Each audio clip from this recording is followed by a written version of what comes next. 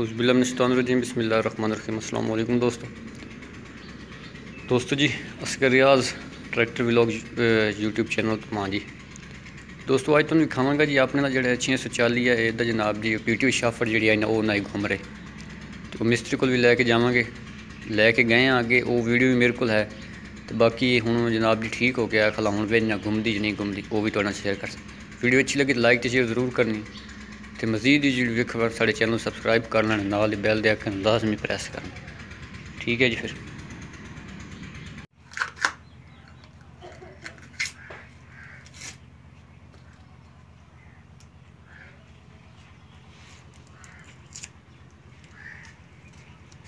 ਇਸ ਹਾਂਡੀ ਕੇ ਇਸ ਹਾਂਡੀ ਕਿਹੜਾ ਤੂੰ ਮੁੰਡਾ?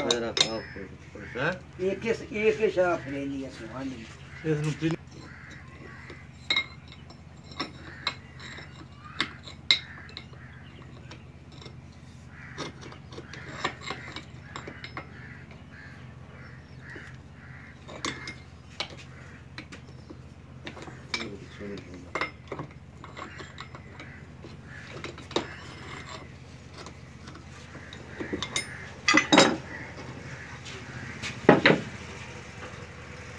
ਚਲੀਏ ਤੁਰੋ ਰੋਟੀ ਪਾਉਣ ਵਾਲੇ ਬੰਦਾ ਔਖਾ ਹੁੰਦਾ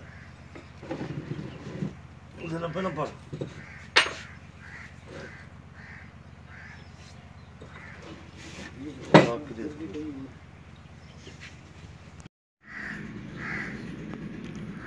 ਹਾਂਜੀ ਦੋਸਤੋ ਤੇ ਫਿਰ ਪਹਿਲੇ ਜਿਹੜਾ ਹੈ ਨਾ ਪਹਿਲੇ ਇਹ ਜਿਹੜੀ ਪੁੱਲੀ ਆਈ ਇਹ ਇਹ ਨਹੀਂ ਮੁੜਦੀ। ਸਖਤ ਹੋ ਗਈ ਹੈ ਪਹਿਲੇ ਕੰਮ ਕਰਾਇਆ ਨਾ ਪਿਛਲੇ ਹਿੱਸੇ ਦਾ। ਤੇ ਫਿਰ ਇਹਦਾ ਕੋਈ ਚੱਕਰ ਲੱਗਾ ਤੇ ਇਹ ਹੋ ਗਈ ਸਖਤ।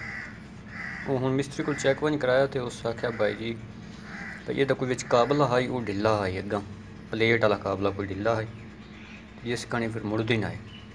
ਤੇ ਉਹ ਕਾਬਲਾ ਟੈਟ ਕੀਤਾ, ਉਹ ਆਦਾ ਪਈ ਯਾਰ, ਸ਼ੁਕਰ ਕਰੋ, ਤੂੰ ਸਾਡਾ ਨੁਕਸਾਨ ਹੋਣ ਤੋਂ ਬਚ ਗਿਆ ਨਹੀਂ ਤੇ ਅੱਗੋਂ ਗਰਾਰੀਆਂ ਨੂੰ ਨੁਕਸਾਨ ਦੇ ਸਕਦਾ ਹੈ।